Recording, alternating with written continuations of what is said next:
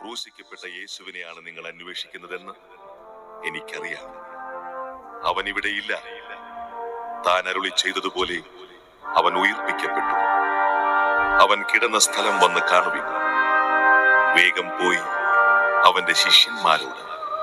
അവൻ മരിച്ചവരുടെ ഇടയിൽ നിന്ന് ഉയർപ്പിക്കപ്പെട്ടെന്നും നിങ്ങൾക്ക് മുമ്പേ ഗലീലിയിലേക്ക് പോകുന്നെന്നും അവിടെ വെച്ച് നിങ്ങൾ അവനെ കാണുമെന്നും പറയുവിൻ. ഇതാ ഇക്കാര്യം ഞാൻ നിങ്ങളോട് പറഞ്ഞിരിക്കുന്നു. അവർ കല്ലറ വിട്ട് ഭയത്തോടും വലിയ സന്തോഷത്തോടും കൂടെ ശിഷ്യന്മാരെ വിവരമറിയിക്കാൻ ഓടി. അപ്പോൾ യേശു എതിരെ വന്ന് അവരെ അഭിവാദനം ചെയ്തു.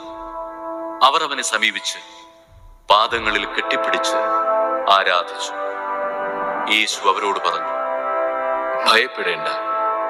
നിങ്ങൾ ചെന്ന് എന്റെ സഹോദരന്മാരോട് ഗലീലിയിലേക്ക് പോകണമെന്നും അവിടെ അവർ എന്നെ കാണുമെന്നും പറയുക.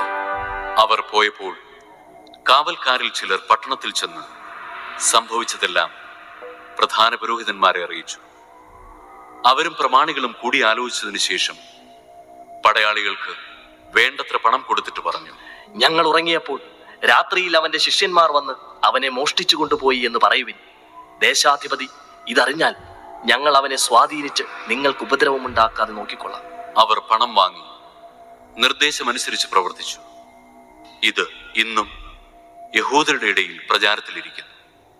യേശു നിർദ്ദേശിച്ചതുപോലെ പതിനൊന്ന് ശിഷ്യന്മാരും ഗലീലിയിലെ മലയിലേക്ക് പോയി.